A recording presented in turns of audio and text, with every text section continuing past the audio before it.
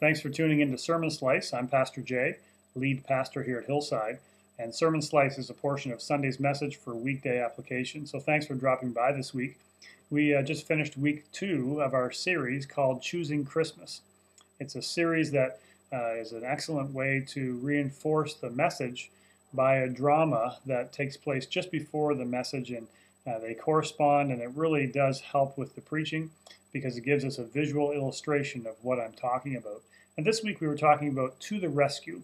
And so many times in our lives, uh, we don't want to be bought. If somebody does something for us, we want to return the favor. We don't want to feel like we're obligated to somebody. So we take it upon ourselves to uh, come to our own rescue. In the drama, we saw Janie, who is the owner of the salon, not really know what to do with the fact that her owner of the building wanted to give her the deed to the building. Uh, so she came up with a new plan. She would buy out the building, she would take care of it, and uh, she wouldn't have to receive this gift. And so many times when we think about our walk with God, that's the way we sometimes approach it. We think if I can do enough good things and if I can live my life like the good person, then I can leverage that with God and He can uh, rescue me uh, based on my goodness and the things that I do and my performance, not based on what He is uh, planning to do through the scripture we looked at today. And that is Luke chapter 2. Uh, and we were looking at Luke last week, but this week we want to camp on one word, and that is that unto you is, this day is born a Savior. And that's what God sent the Christ to the world to do, to save and to rescue us. So many times we're looking for people to help us, uh, give us a second chance, a, a, fresh beginning, those kinds of things. But uh, we need way more than that. We need saving.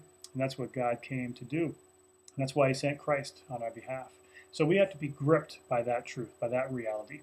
That's what God is doing. He is out to save us. And we also looked in Luke chapter 19, just briefly, that uh, Christ came to seek and to save the lost. And for those that are doing their own things, living their lives their own way, kind of that burned down life where uh, it's not going anywhere and we're lost. That's who Jesus came for.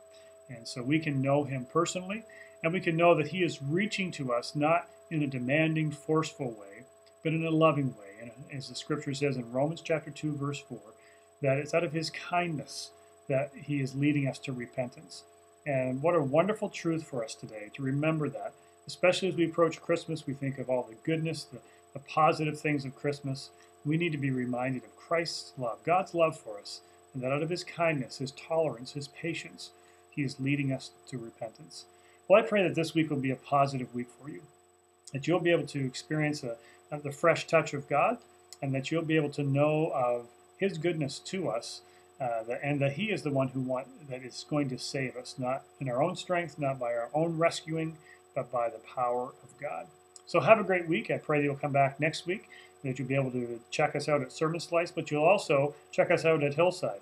Uh, week three and week four the next two weeks, and I, I trust you're going to enjoy the special features of the service. We're going to be having kids sing again.